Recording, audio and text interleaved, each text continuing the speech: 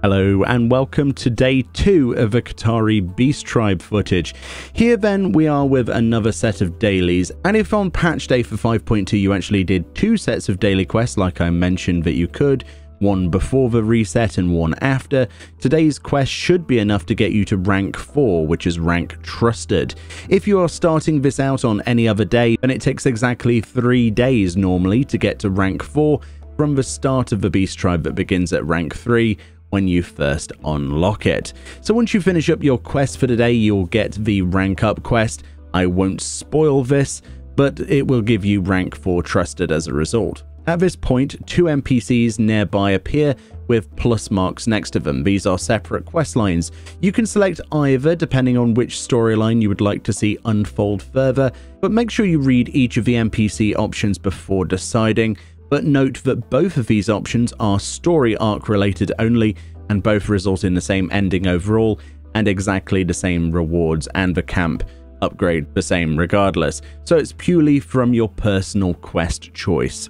You will also have three more Beast Tribe dailies now to go and do, so make sure you get those done and you should now be 180 reputation into trusted rank. The next rank actually unlocks at 720 total reputation, which means it will now take you another 3 days to actually hit rank 5 when the next unlock appears.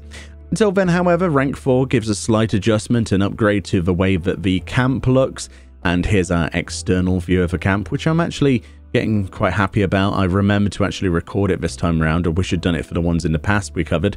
As it transitions and grows, which is one of the things that I love most about the modern Beast Tribe hubs in general.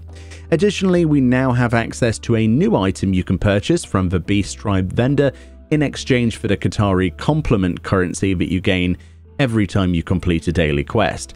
Eight of these will allow you to purchase, as you can see, the Behelmeted Serpent of Ronka minion, so let's take a look at this. Summon your behelmeted Serpent of Ronka minion. Tremble, child of man, for a creature of purest divinity wiggleth before thee in all of its behelmeted glory.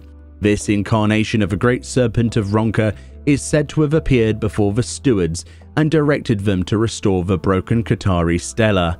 Though equipped with a mining helm, the all-seeing divinity obviously has no need of such mortal contrivances to navigate dark caverns.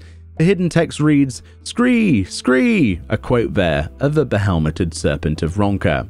It has to be said, the minion is absolutely adorable. I think we can all agree on that. It will react directly to emotes with your Mammutier pet collection title on your character, getting it to feed from your hand with a handover emote, and a pet emote gets the minion to jump upwards in the air, doing a backflip to impress you. The most adorable thing ever. The best thing about this minion is that it's another Serpent of Ronka, and yeah, I don't care how many hats they put on these, I want more of them. The second best thing is that it has this adorable mining hat with a working light on the front. This light is just a glow effect, however, and sadly doesn't illuminate like a real torch, which I think personally is a missed opportunity. We have the sun and moon that gives full illumination. They could have given it to this, but it's whatever. But what an adorable little scree boy he is. I hear there is actually another minion in this series from the Beast Tribe as well, which, which gets me all kinds of excited for three days in the future.